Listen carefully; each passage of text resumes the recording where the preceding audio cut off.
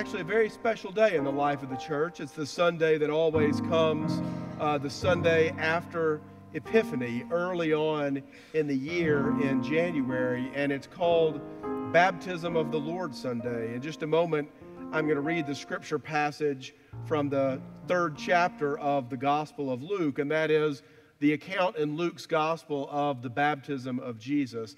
There's a reason why Baptism of the Lord Sunday always takes place during this time of the year in early January.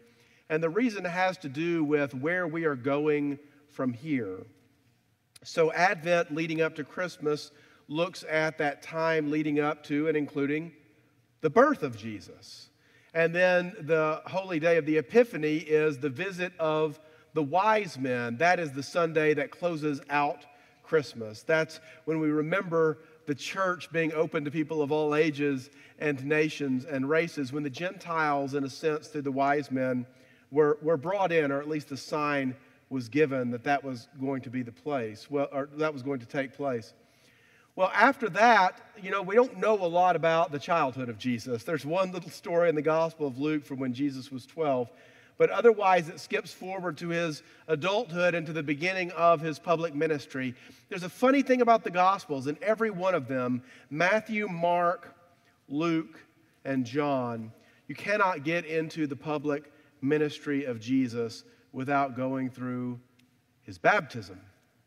It was his baptism that signaled the beginning of that, his entrance onto the stage of the Galilee and then later on down through Samaria and into Jerusalem, where his public ministry would take place.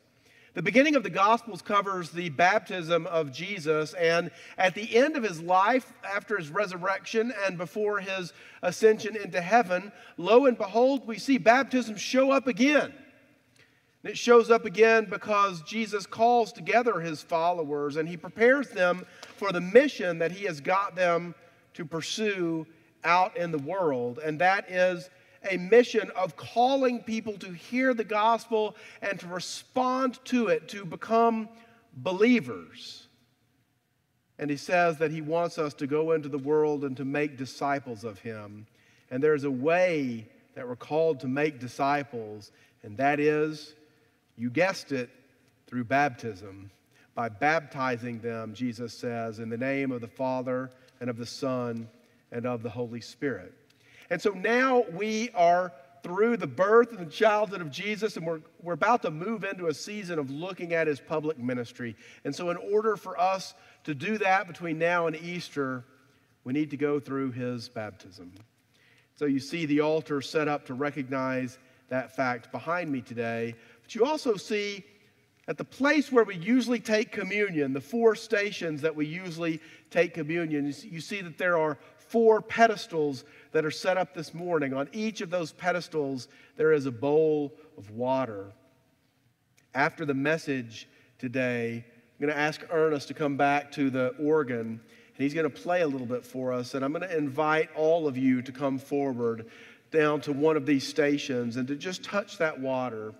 You're welcome to make the sign of the cross upon your chest or upon your forehead, or perhaps you just want to, to touch your heart. But to do that, to touch that water, is a way to remember the waters of your baptism and to be thankful. And so I'm going to invite you to do that. We're going to talk a little bit about what baptism means during the message this morning. And then I'll invite you to come forward and to recall your own baptism, to call that to mind, and to be thankful for what it means. You'll be invited to stay here in prayer, of course, as the Spirit leads you this morning. So let's begin with the scripture passage that comes from the third chapter of the Gospel of Luke. It is a split reading this morning. I'm going to begin with verse 15, read down to 17, and then skip down to verses 21 and 22. If you'd like to follow along, this is the story of the baptism of our Lord. Hear God's word. The people were waiting expectantly and were all wondering in their hearts if John might possibly be the Christ. John answered them all I baptize you with water, but one more powerful than I will come, the thongs of whose sandals I am unworthy to untie. He will baptize you with the Holy Spirit and with fire. His winnowing fork is in his hand to clear his threshing floor and to gather the wheat into his barn, but he will burn up the chaff with unquenchable fire. And now, verse 21. When all the people were being baptized, Jesus was baptized too. And as he was praying, heaven was opened, and the Holy Spirit descended on him in bodily form like a dove. And a voice came from heaven You are my Son, whom I love. With you I am well pleased. This is God's word. Amen.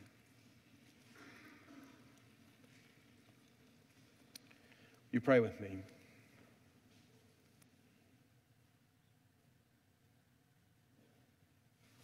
May the words of my mouth, Father, and the, the thoughts and the meditations within each one of us be found pleasing in your sight.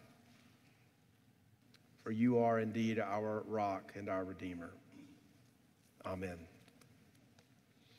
So let me begin this morning with a promo for uh, a new television show that I'd like to pitch to you. You be the studio executives, okay? You get to decide if this show will fly. Here goes. It was 82 years old. The structure was sound, but there were major flaws. Plaster deterioration, holes in the stained glass windows, water damage, a basement full of asbestos, and a musty smell like your grandma's attic in the dead of summer. They loved their old chapel, but something had to be done. And the only thing that would fix it extreme makeover, church edition. You think that would work, huh? It's pretty good, right? I mean, think about it. We could be the pilot episode. And after that, we could go around, we could get Ty Pennington back. He could be, he could be the host. We could go all over America restoring churches to their original beauty on prime time, no less. Well, I got to admit, I have had chapel on the brain for the past 16 months. And it's just so wonderful that this project is nearly complete. I say nearly, we're not quite complete. There is one more very important step. Just this past week, we had the contractor here making measurements and preparing to do the work on the outside on Johnson Avenue to reconfigure the porch so that we're going to be able to have an ADA compliant wheelchair ramp to allow folks with mobility issues to have easy access in and out of the chapel. We do want to make sure that we make space for everyone at the table. And so that step is an important one that we have yet to accomplish. But other than that, the project is complete. We've been in there for two Sundays. The Lord Jesus has been praised. It has been fantastic. And what I'm left with here, now that we're mostly on the back side of it, is I'm left with the thought of what does this mean? I mean, this, this thing that we've done that has taken up time and energy and certainly has, has cost us of our talents and our treasure. How do we understand this project? And I've thought about a couple of different ways.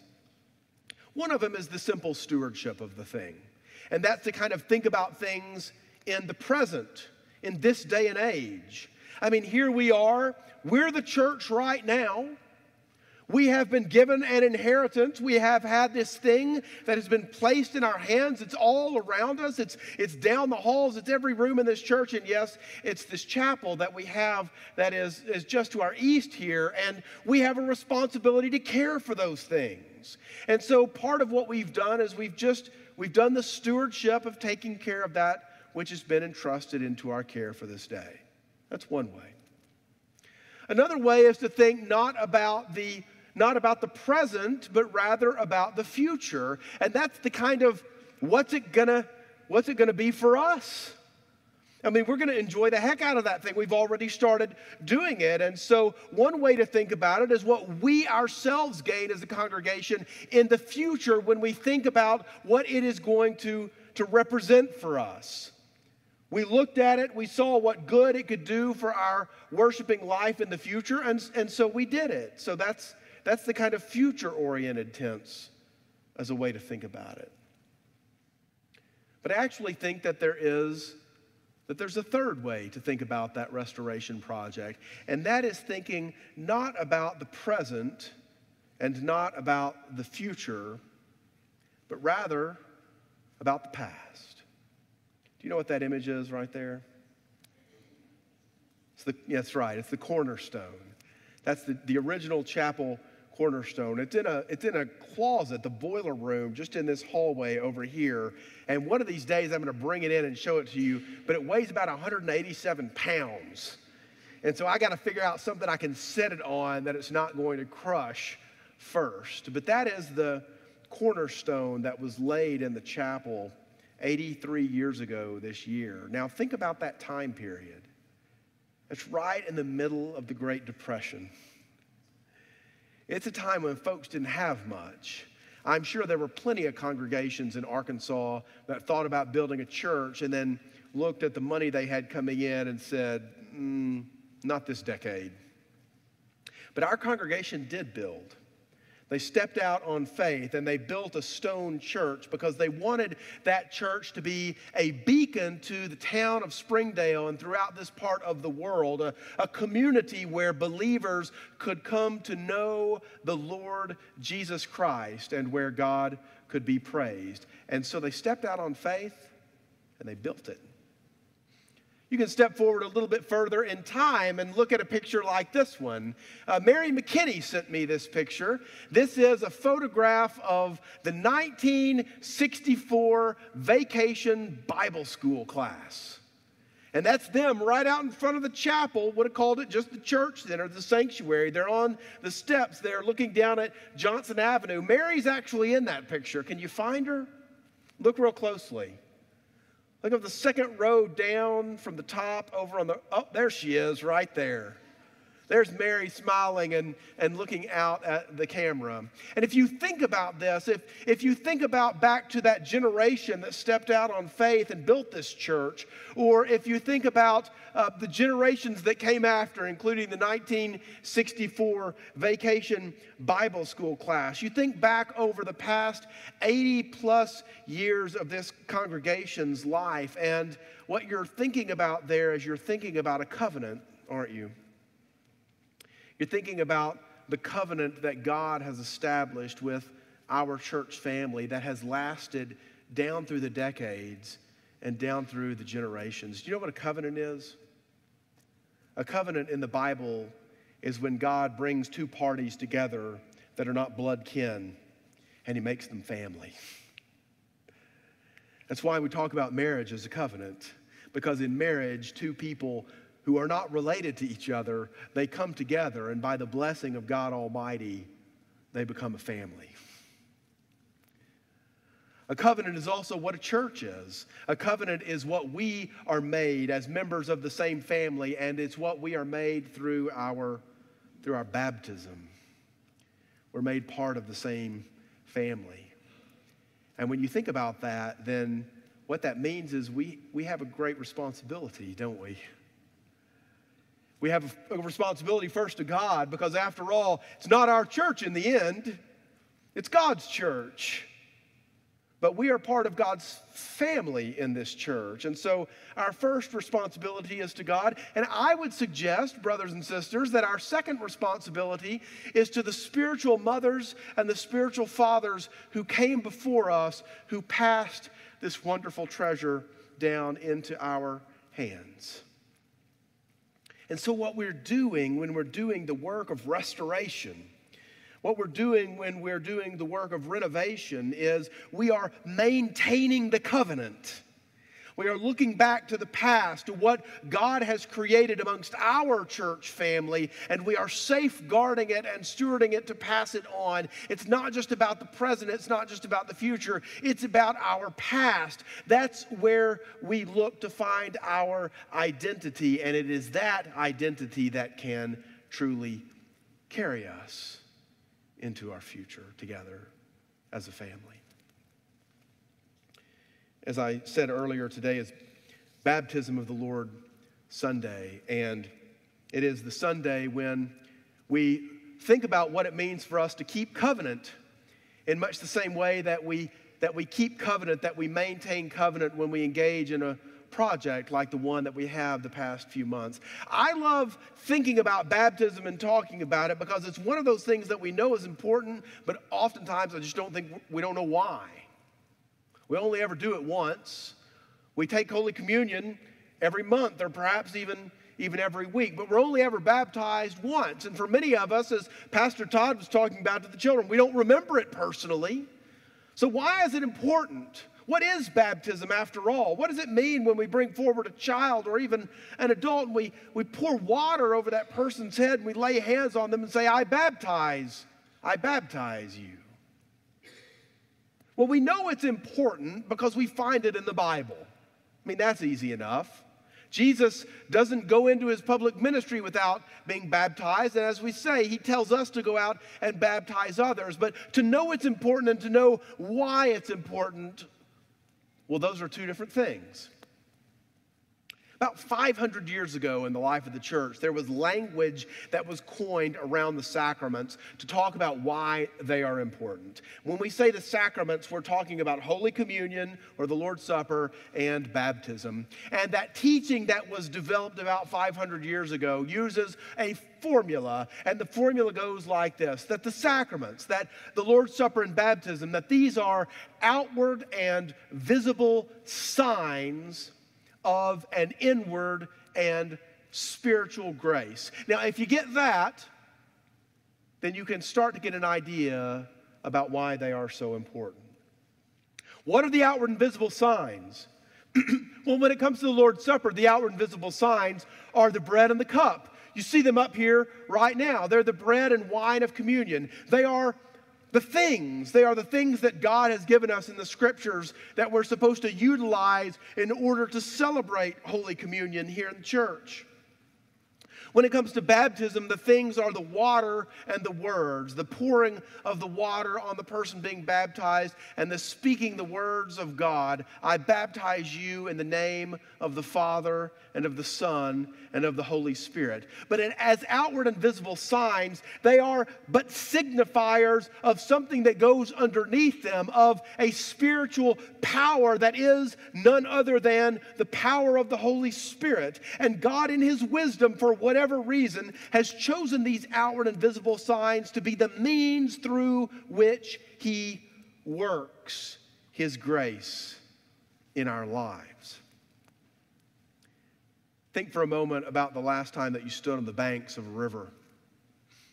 Let's say a river after a, a good, hard, and steady rain, where the water has come up and, and, and, and the current is flowing swiftly in front of you. You stand on the banks of that river, when, when you really take it in, you can think about the power that's represented, the sheer kinetic energy that's represented there in front of you. You stand looking at the water rushing by you, there are thousands and thousands of gallons every minute. This is a natural thing that has the ability to, to carry boulders to the sea, to uproot trees and carry them down. There's some good power in a river.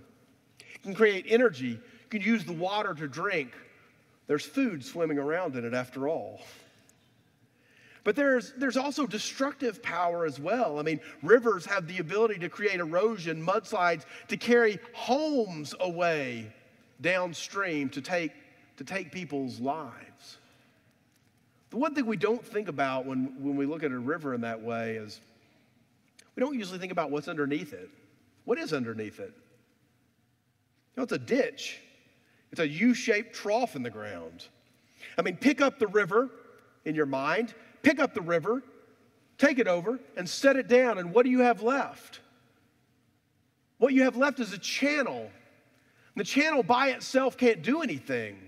I mean, it's just this, it's just this thing in the ground. It's just a ditch. It can't, it can't do anything at all. Except, except without that trough in the ground, the river couldn't exist at all.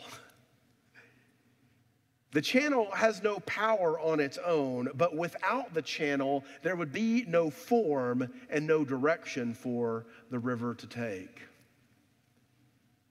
This is like baptism for us, or like the Lord's Supper. God has chosen a channel, not a channel for water, but rather a channel for His grace. And the channels that he has chosen for his grace are the bread and wine of the Eucharist and, and the water and the words of baptism. They are the outward and visible signs of the inward and the spiritual grace. And that grace is none other than the power of the Holy Spirit if we will be open to those channels, if we will come forward when we receive, if you will be open when you come forward to, to touch those waters and to remember your baptism this morning, then the channel that will be opened up to you is indeed a channel of power. It is a channel of grace. It is a channel of the Holy Spirit. We see that in the event of Jesus' baptism itself. The baptism could not have happened without the water and the words. It was the water of the river Jordan, and it was the words that John the Baptist spoke over Jesus. But we also recognize and we see in that scripture passage that the Holy Spirit was linked to the water of Jesus' baptism as if they were yoked together. John tells us this on the front end when he says, You think I have power? There is one who is coming the thongs of whose sandals I shouldn't even be untying. He will baptize you with the Holy Spirit. There it is, the Holy Spirit, and with fire, John says. And then, of course, in the act of his baptism itself, it says that the heavens were opened up and the Spirit descended upon him bodily as if like a dove upon his head. The voice of God was heard saying, This is my Son whom I love. You know, uh, this past summer, uh, Emily and the kids and I went down to Central Texas to a family reunion. It was hot. And um, we were all there my mom and dad, my brothers, my sister, and all the, all the grandkids. And my brother Barkley, who lives down in that part of Texas, uh, brought a lot of photographs with him. And he gave one to me, and I had never seen it before. And th- this was the photograph right here. And it was absolutely remarkable to me. Now, that photo was taken in 1897. That is a 122 year old photograph. And it's of a family sitting on their front porch in a dusty little central Texas town called Flatonia. And you know why that, do you know, do you know why that uh, photograph is remarkable to me? That's my family. The man in the middle of that photo is my great great grandfather, Richard Owen Ferris. He was the sheriff of Fayette County. And the woman to the right is his wife. Do you see the family resemblance, by the way? Imagine me with a Wyatt Earp mustache, maybe. Uh, the woman to the right is his wife, Eliza. She's my great great grandmother. And the girl on the far left hand side of the frame is Tummy. That was her nickname. Her name was Ira called her Tummy. And that is my great grandmother. Um, and I never met him, of course. never met him. Uh, Tummy uh, died in the 1920s, very early uh, in her, relatively early in her life, died a tragic, tragic death. And as I was sitting there holding this photograph, I just, I just was awestruck by it. I thought, you know, I never met these people. I mean, the one, Tummy, she died 50 years uh, before I was born. And yet, yet we're in the same family. um, we share a covenant together in a way. And I thought, you know, th- this family, that's my, that's my family, if, if they hadn't done what they did and passed on that legacy to me, if they hadn't given their lives in the way that they did, then I would never have had life myself. And I thought about that and I thought, you know, that's the responsibility that we have. Um, we receive something from those who came before us, from our mothers and our fathers who are even now in the great cloud of witnesses above. And they pass that into our hands. And they're members of our family, whether we ever met them or not. And we have a responsibility to those who come later as they had a responsibility to us. We've been made part of the same family by our baptism. And by our baptism, we can know God as our Father, the church as our mother, and one another as brothers and sisters. And there are outward and visible signs all around us. Some of them are in cornerstones, and some of them are in photographs of 50 year old vacation Bible school classes. And some of them are right over there. And if we will receive those outward and visible signs as God means us to have them, then they can be the channels of great spiritual power. We can know through baptism and through the fellowship of God's family that we have a place to belong and that the love of Christ is ours. In the name of the Father, and of the Son, and of the Holy Spirit. Amen. I'm going to invite us to prayer in just a moment. Let me go ahead and invite Ernest to come on down. After we pray together, I'm just going to invite you as you feel led. It doesn't it could be like communion. We can get up in rows if you want to or perhaps you just want to come down as the Spirit leads you. To come down and to remember that the waters of your baptism that God has called you to belong. He's called you to be a part of his family. So we're going to come down and spend a few minutes this morning just remembering that and rejoicing and giving God our thanks. Will you pray with me? Holy God, we, we give you thanks that through the waters of baptism, you have called us to be a part of your family. The scripture tells us that once we were no people, but now we are your people. We give you thanks for that. We give you thanks for those who came before, and we give you thanks for those who will surely come after. While we are here, gathered together as a part of this body, we pray that you would help us to bear witness to the love that you have given us in Jesus our Lord and to share that love with the world. We ask these things in his name. Amen. And so now, will you come?